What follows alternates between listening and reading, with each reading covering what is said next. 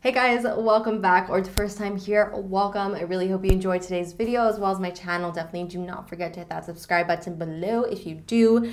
So for today's video, I'm to be doing a little bit of like a product spotlight because I have recently found a new lip product and not to sound dramatic, I sort of fell in love with it. It is probably one of the best lip products I've ever tried. And honestly, I feel like it is pretty underrated. I haven't heard too many people talk about it. And once you finally find out what this product is, because I sort of want to leave you in a little bit of suspense. Definitely let me know what you think of it if you have tried it. Also, let me know if you like it when I do these like product spotlight videos. And definitely hit that bell button if you like to get notifications from me every time I upload. I'm sure you guys are wondering what this product is, so let's get into it. So the star product that we're going to be talking about today is the Nudestix Intense Matte Lip and Cheek Pencil. So I've sort of been on a little bit of a product hunt for a while. I've been really looking for a alternative to a liquid lipstick, a matte lipstick, but that's also not going going to completely dry out my lips and that's also going to be just as long wearing as a liquid lipstick. And I feel like I finally found the product that just has that magical combination of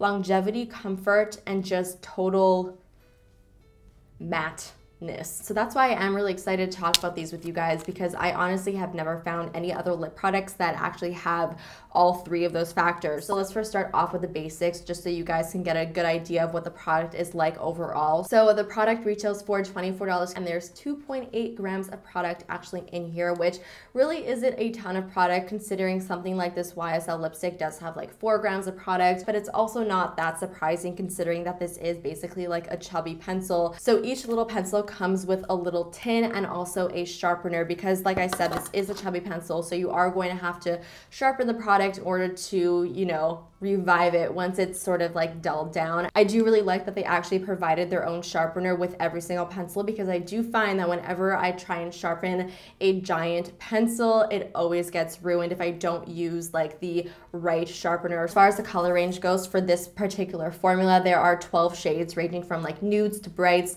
and a lot of different red shades as well. That's something that I did notice. Now I'm really hoping that they're going to expand the range and add more unique shades to it because I honestly just want like every shade of the rainbow in this formula but that's just me. What's also really nice about this product is that it is pretty versatile. You can use it not only on your lips, but also on your cheeks and honestly, even on your eyes. I personally have actually never tried it on my cheeks, so I can't really say how they perform just based off of the formula that it would probably be really, really pretty, especially since it is quite a long wearing and matte product. I could imagine it sort of staying on the cheeks for quite a long time. I am definitely gonna test that out. Let me know in the comments though if you have tried this product on the cheeks, uh, what you think of it, but that is something nice to keep in in mind that you can use this product for multiple uses. All right, so now let's actually get into like the main reasons as to why I like this product so much. So firstly, it's really all about the formula, and this is the best matte formula I have ever tried in my makeup life. Now, the formula itself is actually very lightweight, which I think is the main factor as to why these are so comfortable. They're not like super gel-like or super waxy, so when you apply them to your lips, it honestly feels like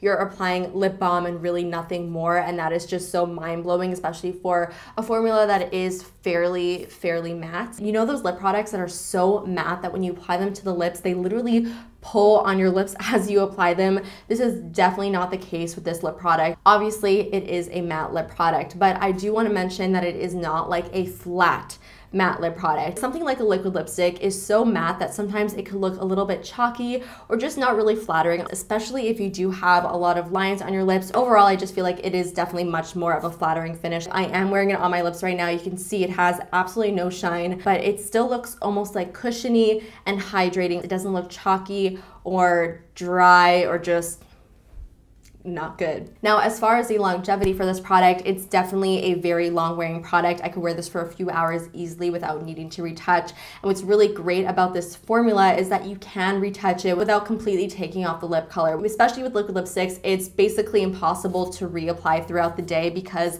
once you start to layer that type of formula, it will start to crumble off of your lips. That's definitely not the case with this product. You could easily reapply this throughout the day without worrying that you're building up the product so much that it's going to like flake off your lips because like I said, it's just not a drying formula, so it's not gonna happen because it is so nice and creamy. I do wanna mention that it is very possible to get that dreaded butthole lip with these products because they are matte and because they do sort of suction cup to your lips to some degree it is very possible that you will get that dreaded line like right over here that isn't always the most flattering but what's really nice about this formula is that you can actually fix it very easily just by running your finger over the product. Since it's not totally totally dry down on your lips you are able to sort of manipulate it a bit and to rub off that um, like really, really harsh line. Now, I do want to mention one con. It's not so much of a con for me, but I do know that this could bother some people. Basically, when you touch your lips together after applying it, you will feel a little bit of tackiness. It's really not that much tackiness,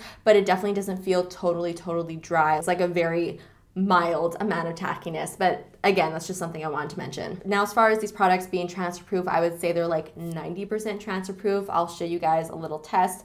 I have nothing on the back of my hand right now. Let's do a little kiss test. Okay, so you can see that there's just a little bit of product right here. As far as eating and drinking with this product, I do find that it does last pretty well throughout a meal. However, if you're getting really mouthy with your food, like if you're eating like a burger or tacos or anything that requires a lot of mouth action, then you probably will have to reapply it afterwards. But if you're just like eating something a little bit more dainty, then you may be good. I actually might as well try this out as a blush right now on camera for the first time and see how it applies because I've never done it. So I could do a little bit of like a first impression. So let's just see what this looks like as a blush. So I'm gonna take the shade Bella. I'm gonna just dot onto the apples of my cheeks and I'm gonna use just my finger just to blend it out. That did blend out really, really easily. I feel like a product like this would be really great for somebody who um, doesn't really want to mess with too many products in the morning when they're getting ready for like school or work. And you could use like the same product for your lips, your cheeks, and your eyes.